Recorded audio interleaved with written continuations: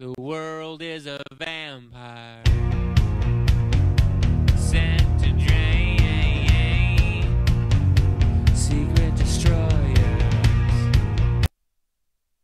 Oh, and good morning, Shafter High School, and welcome back to another great episode of HQTV, Shafter High School's news source. I'm Theo Avila, And I'm Jalissa Chacon. and today is Thursday, March 6- 16th. Now let's take a look at what's going on in our general community.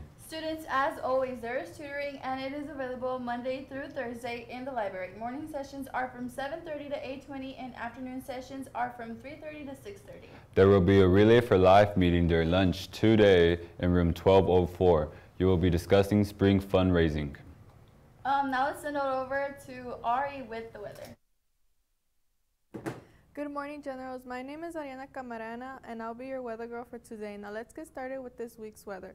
Today is going to be a high of 66 and a low of 43, but during school, it'll be a, um, a 43 in the morning, and when you leave, it's going to be a 60.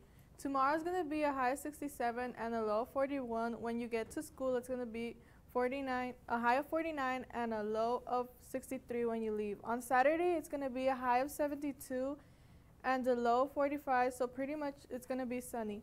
And on Sunday, it's going to be a high of 64 and a low of 49. That's it for weather, guys, and let's send it back to the main show. Oh, girls? Yeah. Attention all female seniors. The PEO Chapter JT Scholarship is due tomorrow, March 17th. Please submit the application in the Career Center.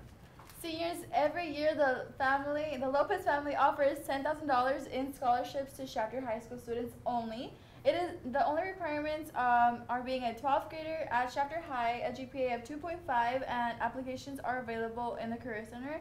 Deadline is April 11th, so if you're interested, make sure you go get one. There will be a CSUB presentation today at 11:45 in the auditorium. Students will receive a call slip at the beginning of their fourth period.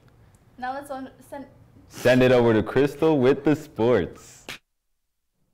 Morning, Shafter High. My name is Crystal Villagrán, and here's a short update on sports. Our varsity softball team's tournament at Miramonte has been canceled due to the weather, unfortunately, but we have our golf team playing today at Delano, and they'll be heading over there around 10.30 today, so let's wish them good luck.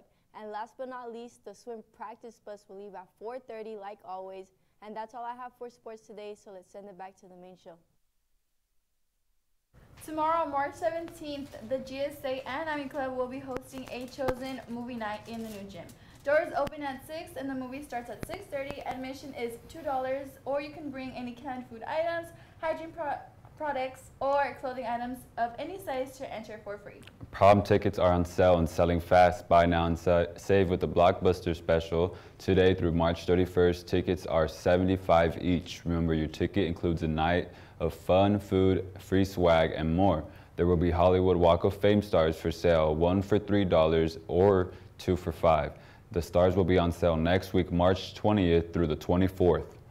Students, the quarter ends tomorrow. so Tomorrow. Stay after school for tutoring and work on your missing assignments to get those grades up. Tomorrow. is also St. Patrick's Day, so make sure you wear green before you get paid. Or we're gonna pinch you, yeah. Yeah.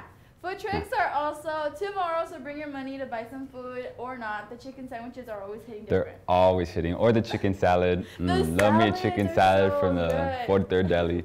Okay, and on that note, Generals, have a great day and tune in tomorrow for another great episode of HQTV, Shafter High School's news source.